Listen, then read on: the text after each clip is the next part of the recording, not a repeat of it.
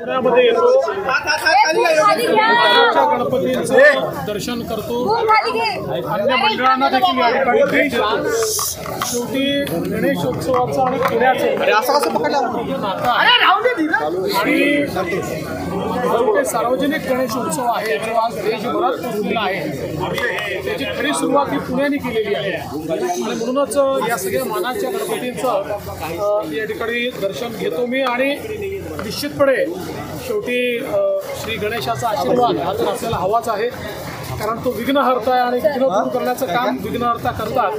त्यामुळे निश्चितपणे त्यांचा आशीर्वाद पुण्याला महाराष्ट्राला सर्वांनाच मिळेल असं मला वाटतं. तर आज तुम्ही आलात आणि पुण्यात पावसालाही जोरात सुरुवात झालेली आहे कसब्यात काय मागणं मागितलं? काही वेगळं मागणं नाहीये. जेवढे विघ्न आहेत ते दूर व्हावे एवढंच मागणं सर आज धनगर समाजाच्या आरक्षणासंदर्भात पडली. जे शिष्टमंडळाचं म्हणणं होतं की बैठक त्याच्यातून तोडगा असं नाही आहे हा प्रश्न जो आहे तो सोडवण्याच्या दृष्टीने सरकारने अतिशय सकारात्मक. अशा प्रकारचा पुढाकार घेतलेला आहे.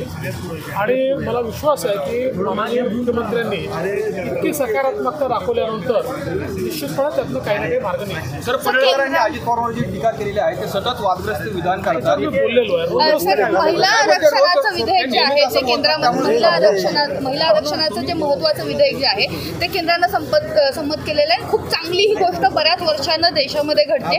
पण या पार्श्वभूमीवरती बच्चू कडूंनी असं विधान केलंय की सगळा कारभार जो आहे तो पुरुषच करतील म्हणून. कसं पाहता या विधानाकडे? पंचायत राजच्या वेळेत सुद्धा सुरुवातीला अशा पद्धतीने? अशाच प्रकारे जेव्हा महानगरपालिका आणि जिल्हा परिषदांमध्ये आरक्षण दिलं हेच म्हणायचे सुरुवातीला कदाचित पहिल्या पाच वर्षात ते खरंही होतं. की पुरुषांचा जास्त वावर होता. पण हळूहळू जसा काळ गेला सक्षम महिला त्या ठिकाणी आल्या आणि आज महिला सर्व चालवत आहेत. त्यामुळे मला असं वाटतं की असं म्हणणं काही योग्य होणार नाही.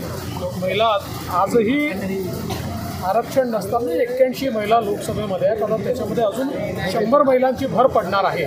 त्याच्यामुळे मला असं वाटतं की मी तरी त्यांच्या मताशी सहमत नाही.